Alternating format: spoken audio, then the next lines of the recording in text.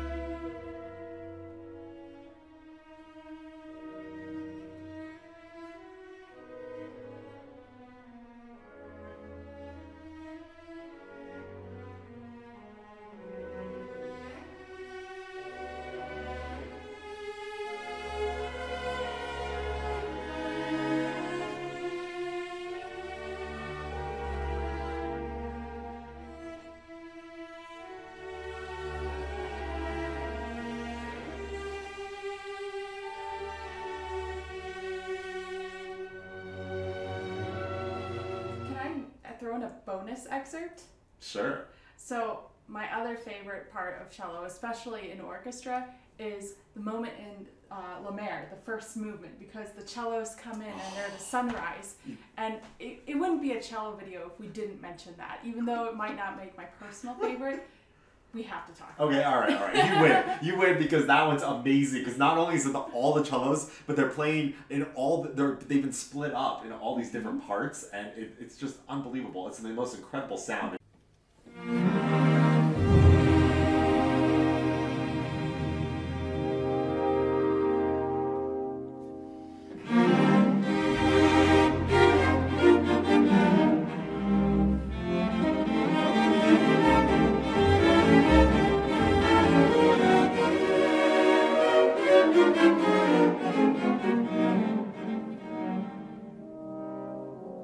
Well, I think that got us really pumped up to learn about the cello. Uh, Chloe, who is the amazing cellist we're going to meet today? Uh, we get to meet Rebecca Roudman, one of the cellists in the Santa Rosa Symphony. She's amazing because she doesn't just do classical music, but she also does bluegrass and all sorts of rock music. And we're going to learn all about her multifaceted career. Yeah, it's it's it's going to be quite a treat today. I'm so excited to show you guys uh, not only not only for you to have a chance to, to meet her, but also see some of the amazing work and the amazing sounds uh, she gets out of the cello. All right, let's check it out. Can't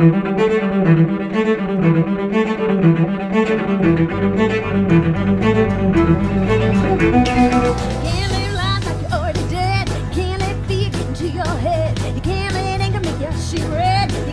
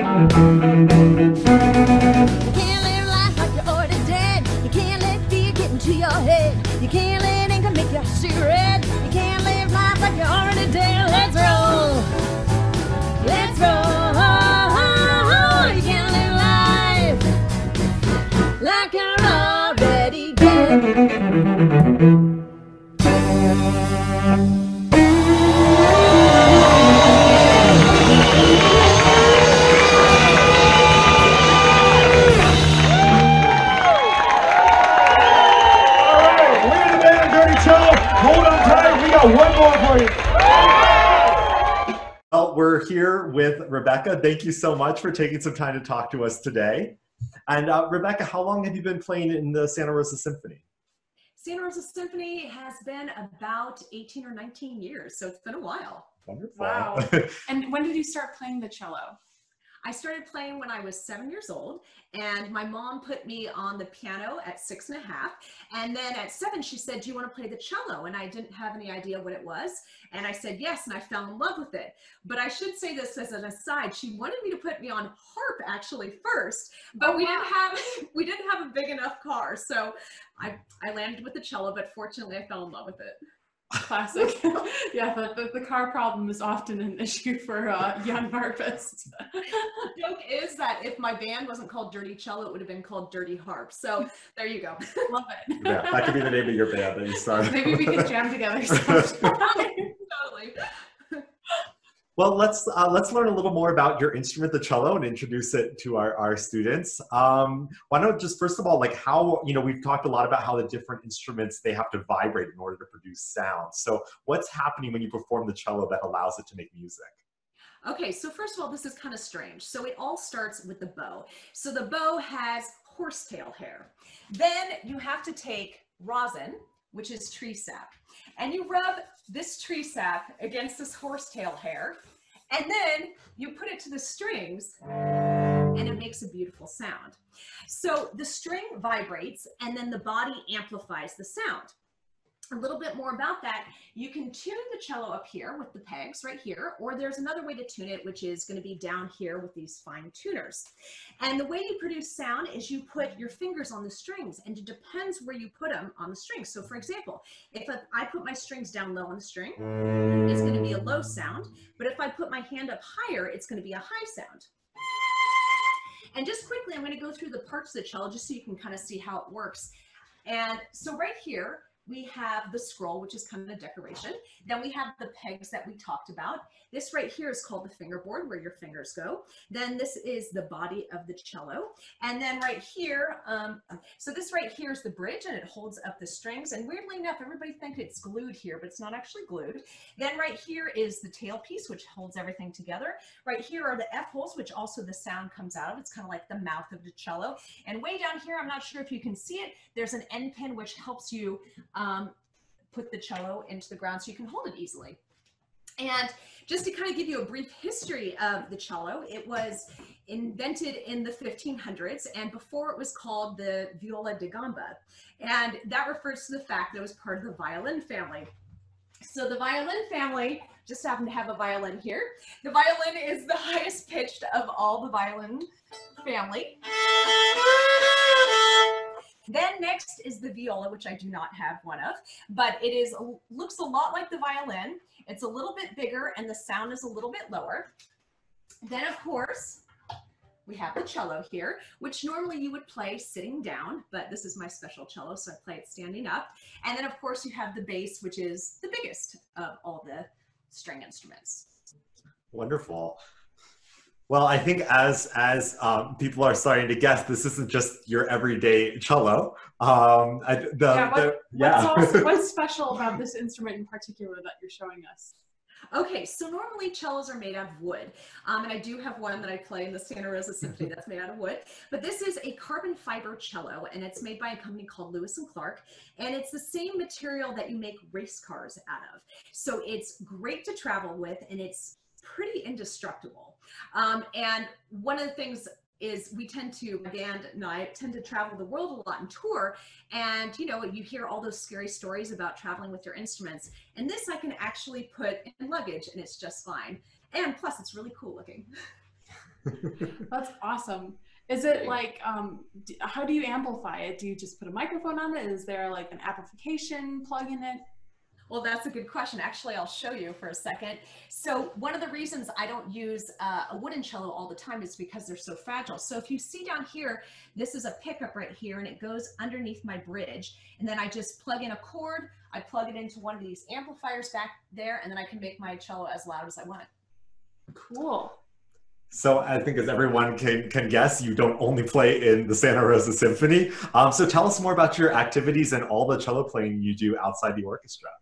Um, well, that's the fun thing about a musician. And that's what I like to tell kids a lot that, you know, you can make such a great uh, profession as a musician. You know, make sure you do your school orchestras and your middle school and your high school and um, go to college and you can create this really great living for yourself. You really can make money as a musician. So not only do I play in the Santa Rosa Symphony, which I love, I play in the Oakland Symphony. I also teach music. I also do recordings for anything from hip hop to um, singer songwriters. But I also have my own band, which you might have seen up here, called Dirty Cello. And this is a blues, bluegrass, and rock band. We tour all over the world and we perform for thousands of people. And it was just kind of an experiment that went right about eight or nine years ago when we started it out. So obviously, like you've you've trained to be in a, a orchestra. How did you get from being in an orchestra to being a blues cellist, or or were both paths kind of happening at the same time in your life? Like what happened there? Well, you know, I was in Marin Youth Orchestra in the San Francisco Youth Orchestra growing up, and I knew I always wanted to be in orchestra. And a little side note about the Santa Rosa Symphony, which makes it extra special being in this orchestra, is my first cello teacher was in this orchestra. So it kind of completed the circle once, once I made it in. But then when I once I got into the orchestras, I was enjoying classical music, but I wanted to see what else I could do on my cello, and I wanted to experiment with the sounds it could take me to. So I started very slowly playing with singer-songwriters, just playing, you know, long whole notes and things like that, and just getting used to it because reading music and improvising is it feels like a different skill set. So then after a while i was like well this is really fun. I, I want to do more of this. And so um, my husband and i started playing guitar and cello together and people started coming to our shows and i realized i want a bigger sound. So then we added drums and we added bass and a backup singer and a piano player and pretty soon we're this five piece band and people want to hear this kind of music but played on a cello and what I discovered was that the cello, not only is it a beautiful classical instrument, but it can also imitate other sounds. You know, let's say I want to do some some rock or something like that. You know.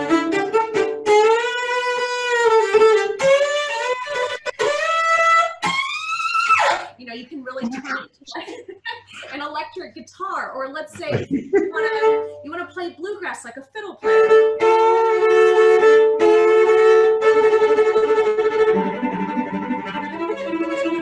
So I was having fun doing all this, and I was like, I want to start a band that I can do this, and that's where that's where this came up.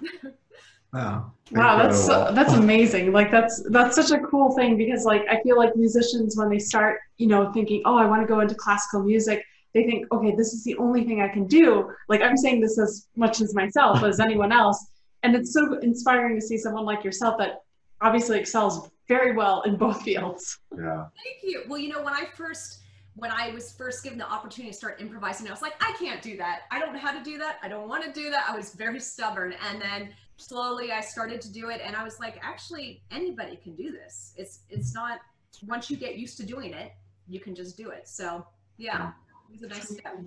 Well, uh, let's check out some more of your performances. Thanks for being able to, for letting us show a couple of them. Um, what, what's the first one we're going to be seeing? So the next one is going to be, um, I like to call it Orange Blossom Cello. It's actually Orange, Orange Blossom, uh, Orange Blossom Special, but played on the cello, and we can show you that one.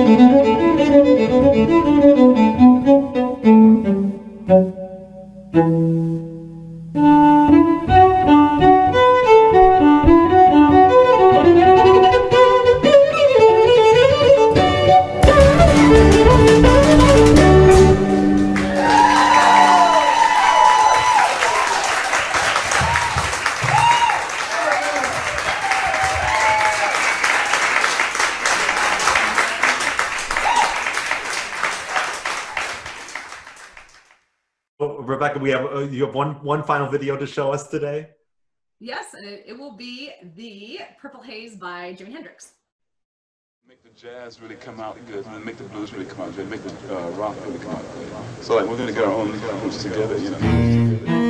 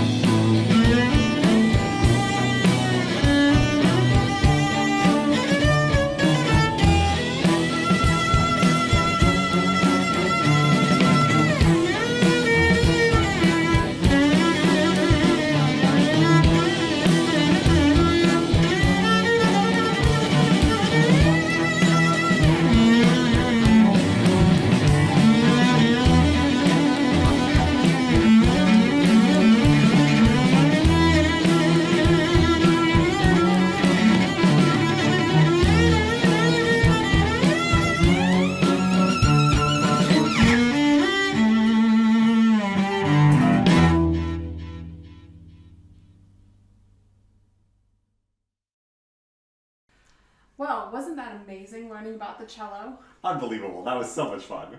Francesco, what are we going to learn about next week? So next week we are going to meet another instrument in the string family, the viola, the middle middle voice between the violin and the cello. And that's what you played, right? It was, yes, indeed. So I'm really excited to be able to um, introduce some violas to you and some of the great music for the viola. Well, we'll look forward to seeing you next week. Thanks for joining us and enjoy your week. We are so happy to be here. And we're going to play you one of our favorite tunes. And this is our rendition of The Devil Went Down to Georgia. One, two, three, four.